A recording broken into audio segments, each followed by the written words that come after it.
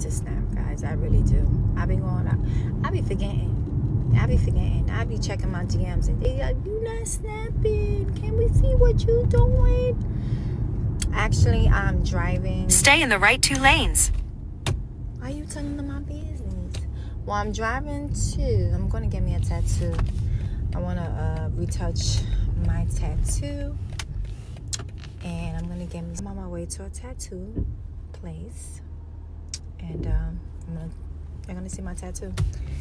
What I'm gonna get something small, probably hmm, some cute little tattoos, cause I think uh, I think I, I love tattoos, but small tattoos. I always get into like I just want something small on my body, so something cute. I was thinking.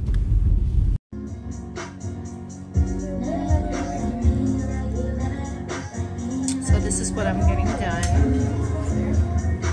This one says she's art. It's cute.